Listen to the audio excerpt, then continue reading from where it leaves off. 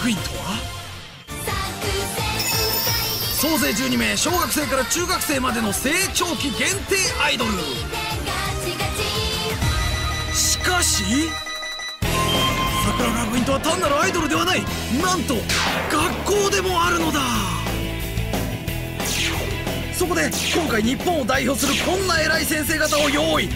桜学院の特別講師としてスペシャルな授業をしてもらった。それはひとえに彼女たちが目指すアイドルを超えたスーパーレディーになるため。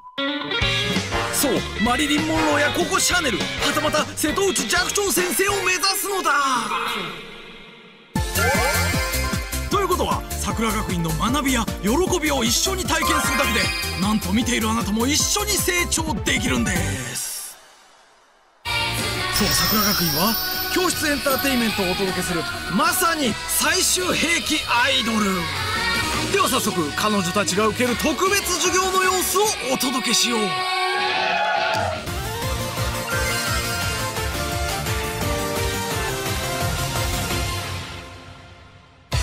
さあ今回から新しい先生が登場。一体どんな先生が現れるのか。でもなんかもう慣れちゃってみんなリラックスムードか？一体どんな授業が始まるんでしょうか？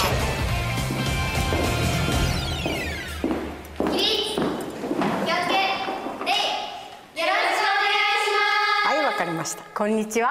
はい、座ってください。はい。登場したのはボイストレーナー安真澄先生サリムや TM レボリューションなど多くのトップアーティストを指導してきたものすごいキャリアの声の先生なのです今日は私が音楽の授業をやります。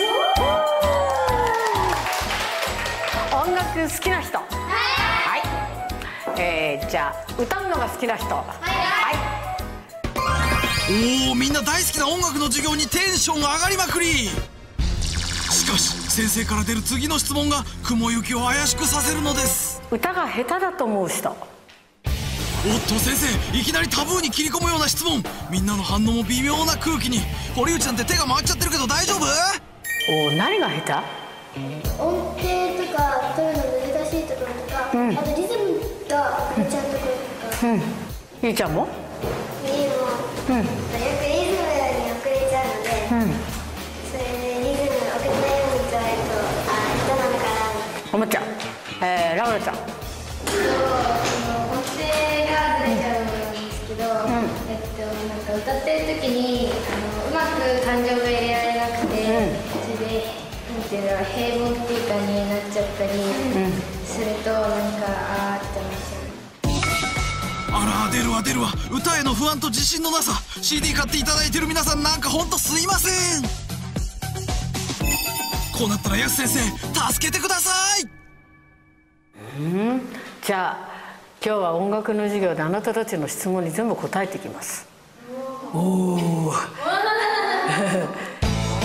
はい武藤の変な笑い方はさておきですね先生から頼もしい一言が聞けましたそこでまずは基本中の基本のお話からみんながハッとするようなこんな根本的な質問が出たのですじゃああなたたちに聞きます。歌って何ですか？は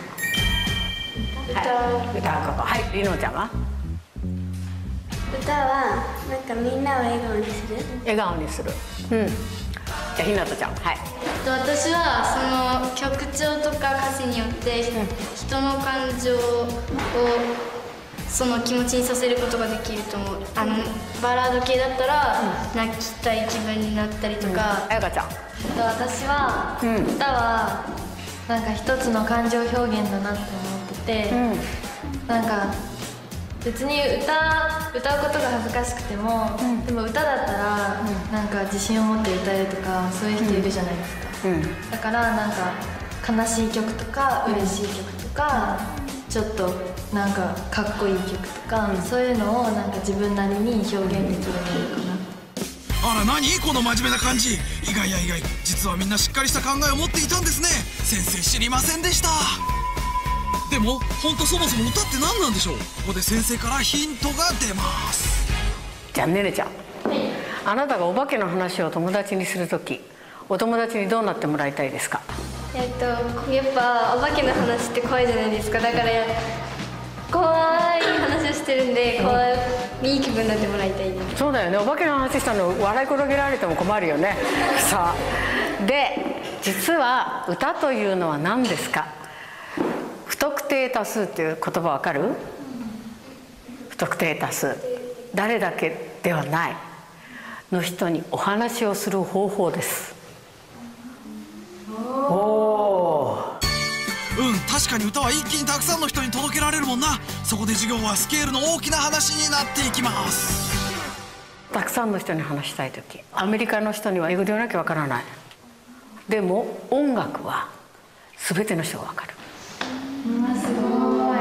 でできればねあなたたちがテレビで歌う CD を出すこれって不特定多数の人に聞いてもらいたいんじゃない、そうだね。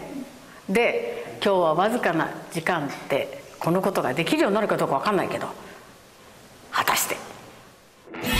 みんな顔輝いてるけどいわば世界だぞ世界。ハードル上がっちゃってるけど大丈夫か？授業はここから歌手としてのみんなに必要なよりリアルな指導に突入。その前にこのコーナー桜学院の個性全開な生徒たちをもっと知ってほしい。そこで誰かの噂をしている3人の生徒の休み時間トークをこっそり紹介しちゃうのがこのコーナー。名付けて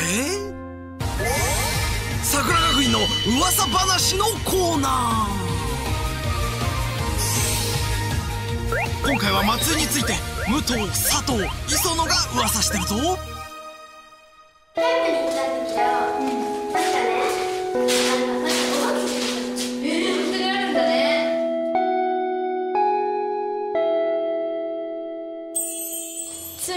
この間アイリーンと喋ったの。でひなたはお弁当の中身なんかこれなんかあんま美味しくないってひなたが持ってたお弁当の中身言ったの。でアイリーンが「うんうん」って言うから「聞いてる?」って言ったら「うん何の話?」って言われて全然聞いてなくて出たアイリーのマイペース。でもなんかまだ自分に自信ないみたいで。私まだダメって言ってたいつも。あれダンスとかめっちゃ上手くなったよねとか言ったらそんなことないって言ってた。なまってるよ。アイリーいつもなまってるからなまってないねなまりがね福島のねてかアイリーっておしゃれだよね。スタイルいいから。何でももうおしゃれに見えちゃう。アイリーが着る。とお姉ちゃんと服交換してるもんね。すごいよね。すごい。でこれどこで買ったのとか言うと島村っていうの。え見えないみたいな。やっぱなんかアイリが着ると着こなしててあゆみちゃんノーコメント。ノーコメント。恥ずかしがりじゃない？めっちゃ。めっちゃ。なんかさニコラとかでさあのアイリの前で見たりすると「やめて!」とか言ってめっちゃ隠されて。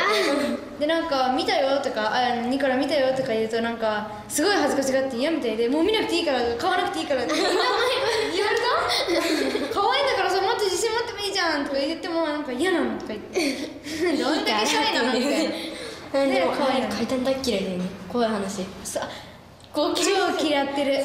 怖い話は。まあ、イノンが言ったらね、もうやめてって言われて。あマジ？でそうだったの。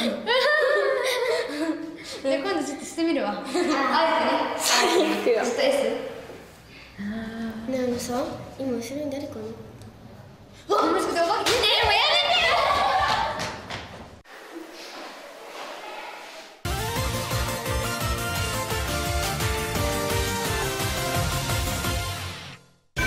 声の授業は歌手としてのみんなに必要なリアルな指導に突入。マイケル・ジャクソンがどういう姿勢で歌ってるか考えてごらん。踊ってるそう踊ってる。ね踊ってる時に体まっすぐじゃない？そう。それ当たり前なの。歌うための基礎姿勢が大事。歌を歌うってこと。歌を歌う楽器にならなきゃいけないピアノ曲がってる？バイオリン曲がってる？うん。そうすると音が出る楽器をこれから作っていくの。ああ私みたいな姿勢になりたかったら足を変えなさい。まっすぐ下ろしてごらん。そう。姿勢をきれいにするにはまず足元から。菊池も水野もまっすぐだな。実はこの姿勢気をつけてないと後々大変なことになるとか。で姿勢が悪くなるっていうとこれから先ねあなたたちが成長していく時に体が回っていきます。わあ。腰痛って言葉知ってる？そうなの。腰が痛いの。今16ぐらいでそれが出てきてる。腰痛い？ほら。あー15で出てきた。それじゃね腰の痛い人ちょっと立ってごらん。そうあら？いつも主張の少ない松井が腰痛については自ら立った。そんなに腰が痛かったのか。しかしメンバーに2人も腰痛持ちのいるアイドルってどうなのよ。あなたたち猫背になってるって言ってるでしょ？ちょっと前出てきてごらん。そう。これね猫背になってると思ってるのが実は違う。あえ？はあ何何？ほら。え？え？これが正しい姿。え？え？すごい気持ち悪い。ほら。でもあなた腰痛なんでしょ？ということは間違ってるよ。あら？どうしよう。あら？なんか今すごい自分の重心が前にいってる感じがする。じゃあみんなが見て重心前いってる？ほら。えーどうしよう。え？ってことは私姿勢どうなってるってこそっくり返ってる。と多分こうなってる。そういうこといつも先生にふんぞり返るからそんな姿勢になっちゃってんじゃないの三好。一方松井もあら姿勢綺麗になってる感じ？ほら綺麗まっすぐほら。マジ？ほら。まっすぐだ。あまっすぐだ。はい。どうする？ほら。もう15歳でもうこれが辛くなってる。どうしよう？あらららら辛そうな松井のこの顔。しかしこの姿勢がいかに大事かについて先生さらに語ります。今ねこうちっちゃい人たちでもずっとずっと若い人たちでも綺麗ってわかるのよ。私は何が綺麗かなんて何も言ってないけど綺麗は誰にでもわかるの。だからさっき音楽も同じ。素敵なものは誰にでもわかる。それには正しいって必要があるの。なるほど。そういう意味でも姿勢って本当に大事なのね。でもでもでもこんな正しい姿勢どうやったらキープできるんでしょう？そう手をちょっと前にして胃を中に入れる。そうそうそうそう。胃を中。胃を中に入れるって何？ともかくみんなもやってみましょう。体の内側に胃を入れ込むってことですかね。あなんかニヤついてんな武藤。みんなやったことないもんな。あ水野もなんか笑ってるぞうん佐藤は複雑な表情からちょっとニヤついて。あ杉崎意外とおとなしいね。そうすると足がまっすぐになってくるの。ここがね今ねね赤ちゃん少しね X 脚って少し楽器が少しこういうふうに曲がっちゃったわけ。その楽器がまっすぐになってくる。まっすぐな楽器を作りましょう。イエーイ。おおなんか心なしかまっすぐになってる感じするね。これで基本の形はできました。さあここから歌声を出してのレッスンです。ドレミの歌を知ってる人。はい。じゃあちょっと歌ってみてください。はい。 One two three four ドはドーナツのドレはレモンのレミはみんなのミファはファイトのファソおいい感じじゃないですか？佐藤なんか歌詞うろ覚えか？おい。誰か歌詞間違えたぞ。おい。まあいいよいいよ。いい感じで歌ってる。うん中本もいいぞ。お三好は今日も真面目だ。偉い偉い。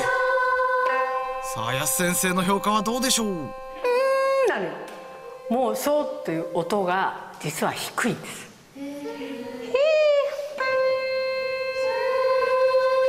そうでしょ？さっきよりさっきもっと低かったよね。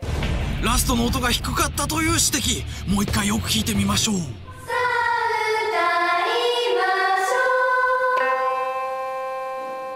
なるほど。この音だったと。でも本当は？そうでしょ？おお本当はちょっと高い。やばい。桜学院音程が正しく取れていないという問題が発生。でもどうしてこんなことが起こるの？さあどうしてだろう。さあここからが難しい。ドレミの歌の秘密。あなたたちに今日は秘密のドレミを教えますおっと何やら意味深桜学院だけに教える秘密のドレミ。ドレミの歌に隠された謎から音程がずれちゃうからくりが明らかになるのです。いいですか？じゃあちょっと質問しますね「ドはドーナツのド」っていう歌詞だよね。最初の「ド」と最後の「ド」は同じ音ですか？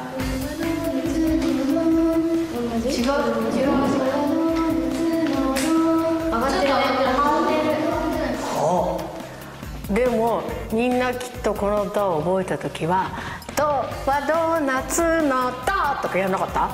元気よく。そうなのよ。これが問題。ドがドじゃなかった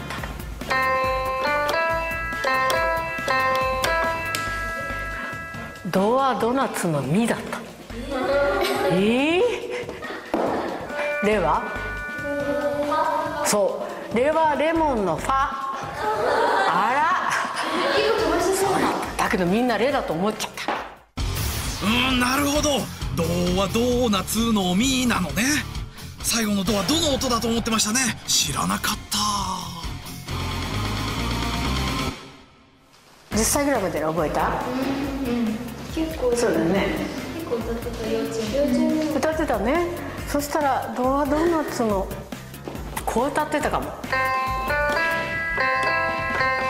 って歌ってたかも。なんとなくよくわかんない。全然違う。全然違うじゃあさあ大変。さっき歌が下手だって言って音程って言ったのはあなたたちがなんとなく音程っていうのを覚える一つのこれ一つの歌だったのよ。そうだね。その時にちょっと違っちゃった。はあ。小さい時に音階を覚えるために歌ったドレミの歌をそもそも間違って覚えちゃってたってこと。でも直さなきゃいけない。そこでやす先生ドレミの歌の新たな秘密を解き明かします。本当は「ドはドーナツのドはドーナツのドと一緒だったね。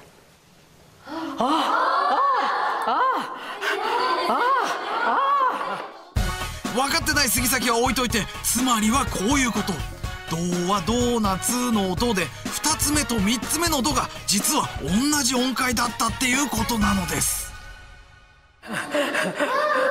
やだ。そうよ。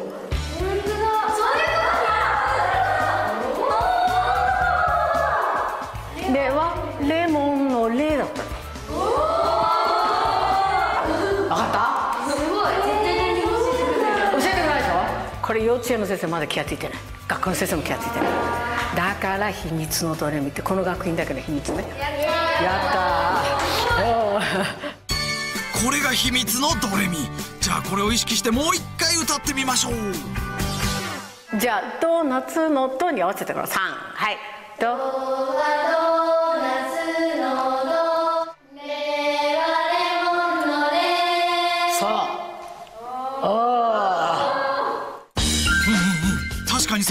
は増したかな？1回目と聞き比べるとどうでしょう？これが1回目。そしてさっきの2回目。